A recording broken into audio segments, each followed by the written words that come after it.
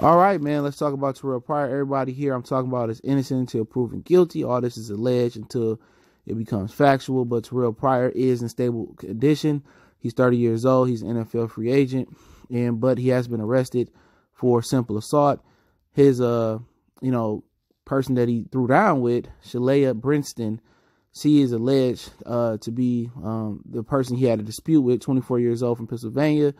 She got hit with a criminal attempt homicide and aggravated assault charge. Okay, so the district attorney in uh, Pennsylvania or Pittsburgh has chosen to charge both uh, people involved. Let's talk a little bit about story. We're back.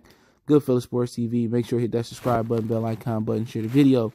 Pryor 30 years old. Uh, the lady is Shalaya Brinston is 24 years old. And right now, all we know is, and I'll link the article in the description. You can read it for yourself on the article link, is they got into a dispute.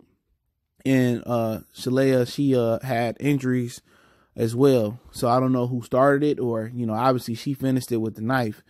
But um, he just been charged with simple assault.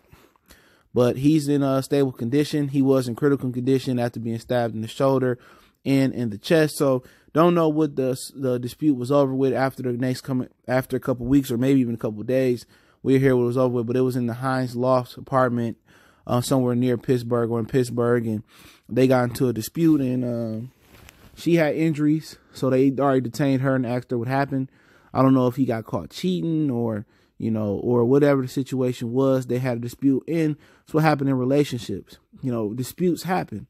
You know what I'm saying? If you ain't arguing in your relationship, then somebody really don't care for you or y'all don't care for one each other like that. It happens, you know what I'm saying? But, you know, don't know what the dispute was over with, but maybe he, you know, it, it ended up with him putting his hands on her or she put his hands on him and then they just started going at it and she felt that she needed to get a weapon to defend herself because once again, he is pretty much an active NFL player, but being a free agent, Terrelle Pryor, 6'5", 6'6", 200 something pounds. But, you know, the best thing to do is just walk away. If you feel like you got to hit one of the other or shit to the point where you got to pick up a weapon or you got to get a weapon, you know, you should walk away. But you don't know. He, she could have been cornered. They could have been in the room with the door locked, whatever situation was. But, you know, somebody was there uh, to really save her bacon and save his bacon to rush him to the hospital. Had he not been able to make it to the hospital, she could have been looking at uh, attempted mur- a murder charge, a, a, hardcore murder charge. But had to see the way the facts come out. But the district attorney, they decided to, to charge both of them. As soon as he was in stable condition and probably able to to lift his hands up, or he was you know able to be discharged, um, they arrested him. So he's being detained. They got to hear his side of the story.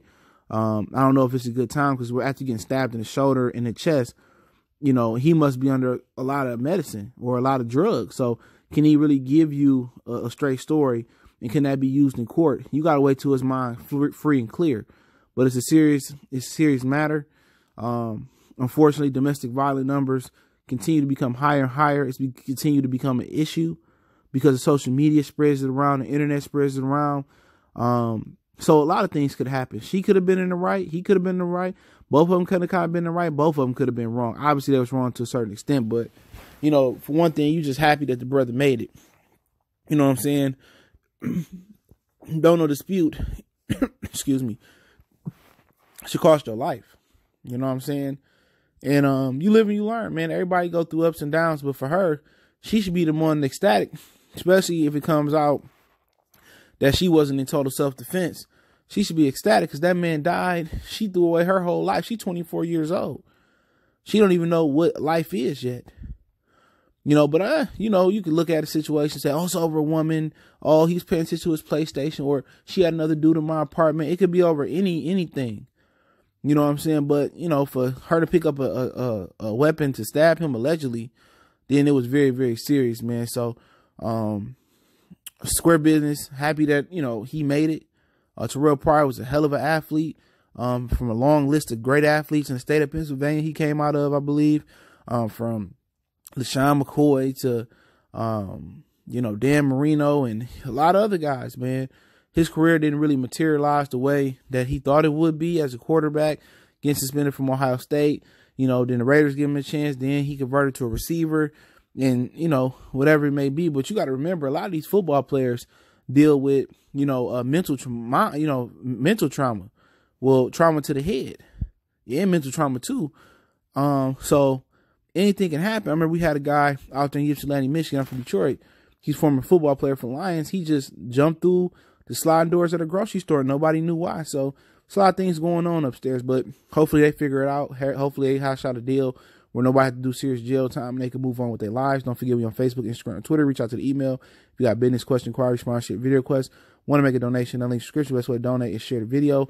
Article link in the, in the, description. Let me know what you guys think. One time for the one time. It's your boy CJ Goodfella. Hit the subscribe button, bell icon button. We gone.